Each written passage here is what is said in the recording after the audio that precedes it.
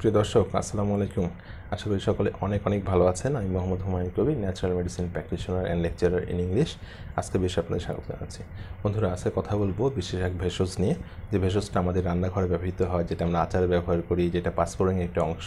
বন্ধুরা হ্যাঁ সেটি হচ্ছে মেথি যেটা আয়ুর্বেদে বলা হয় মেথিকে ইংলিশে বলে এটাকে ফেনুগ্রিক তো এটার ওষুধি গুণ সম্পন্ন আহ, একটি ভেষজ। তো এটা নিয়ে আজকে কথা বলতে যাচ্ছি বন্ধুরা।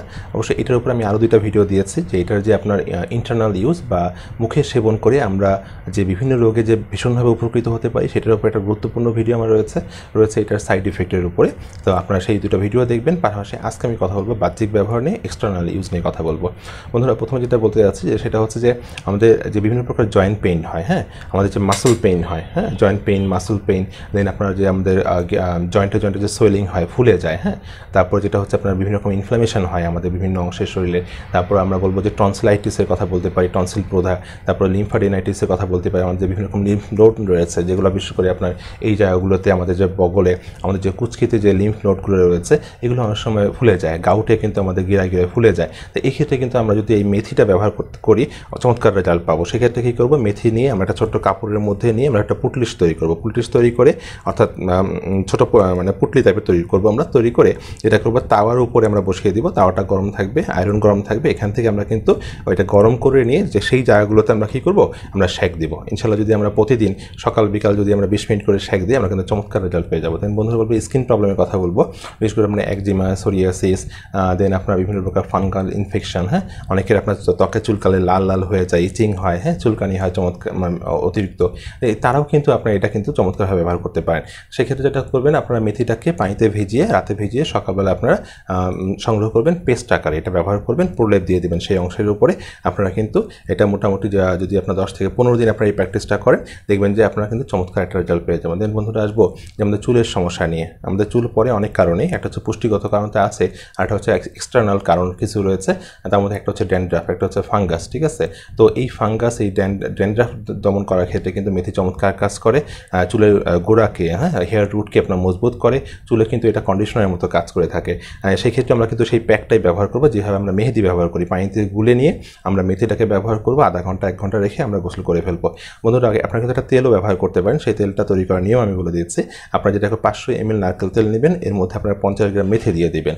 দিয়ে আপনারা মোটামুটি পাঁচ থেকে সাত দিন আপনারা ডে লং আপনার এটা রৌদ্রের মধ্যে রেখে দিবেন। আপনাদের তেল তৈরি হয়ে গেল। এই তেলটা আপনার উপর থেকে ব্যবহার করবেন, চমৎকার রেজাল্ট পাবেন, চুল পড়ার ক্ষেত্রে প্রমাণ পেয়ে যাবেন আপনার নিজের হাতেই ব্যবহার করে। দেখুন দেন বন্ধুরা আসি আপনার যে বিভিন্ন প্রকার আপনার যে আমাদের অ্যাকনি হয়, আমাদের ব্রন হ্যাঁ পিম্পল কথা বলছি অ্যাকনি স্কার্সের কথা বলছি, আপনার ডার্ক সার্কেল যেটা আপনার চোখের নিচে সাধারণত পড়ে থাকে। ব্ল্যাক হেডস হোয়াইট হেডসের কথা বলছি হ্যাঁ? বন্ধুরা, আমরা যেটা রিঙ্কল হয়ে থাকে, বয়সের কারণে যে আমরা চামড়ায় ভাঁজ পড়ে থাকে এই ক্ষেত্রে কিন্তু মেথি চমৎকার কাজ করে থাকে। আপনার ওই একই নিয়মে আপনার পেস্ট আকার ব্যবহার করবেন, তবে সেই ক্ষেত্রে যেটা করবেন, মেথির সাথে আপনার একটু লেবুর রস মিশিয়ে নেবেন, নিয়ে আপনার পেস্ট তৈরি করবেন, করে একটা ব্যবহার করবেন, আধা ঘণ্টা মতো রাখবেন, রেখে গরম পানি ধুয়ে ফেলবেন, চমৎকার রেজাল্ট পাবেন।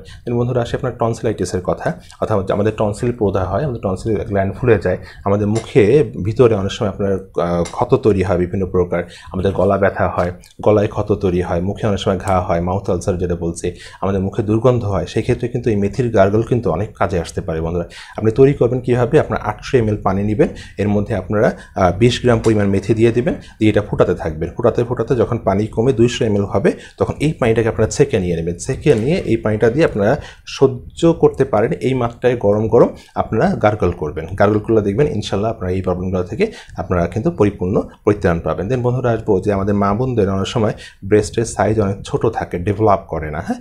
তাদের যেটা হয় যে আপনার ব্রেস্ট অনেক সময় বিভিন্ন কারণে আপনার ঝুলে যায় হ্যাঁ? ঝুলে যায়, আকর্ষণ হারিয়ে ফেলে হ্যাঁ? তারপরে ব্রেস্টে অনেক সময় আপনার প্রধা হয় হ্যাঁ? ইনফ্লামেশন হয়, যেটাকে আমরা বলছি ম্যাস্টাইটিস হ্যাঁ? ব্রেস্টে অনেক সময় ফোড়া হতে পারে। তো যেই মাউন্টরা এই প্রবলেমগুলোতে ভুগতেছেন, তাদের জন্য কিন্তু মেথি কিন্তু চমৎকার কাজ করতে পারে। সেক্ষেত্রে কী করবেন? আপনারা কিন্তু এই মেথির পেস্ট বানিয়ে নেবেন। যেটা আমি আগেও বলেছি পেস্ট বানিয়ে নিয়ে আপনারা যেটা করবেন, আপনাদের ব্রেস্টের উপরে একটা প্রলেপ দিয়ে দিবেন। প্রলেপ দিয়ে একটা কাপড় দিয়ে আপনারা এটা মুড়িয়ে দিবেন, দিয়ে আপনারা ঢেকে রাখবেন। এটা মোটামুটি আপনারা আধা ঘণ্টা থেকে এক ঘণ্টা রাখবেন। প্রথমত যেটা করবেন, সপ্তাহের সাত দিনই আপনারা এটা করেন। দেন আপনারা একদিন পর পর করেন, দেন সপ্তাহে আপনারা দুই দিন করেন। এভাবে যদি আপনারা মাসখানেক যদি কন্টিনিউ করতে পারেন আপনারা কিন্তু এটা চমৎকার রেজাল্ট আপনি নিজেরাই বুঝতে পারবেন। দীর্ঘায়িত করব না। আল্লাহ হাফেজ।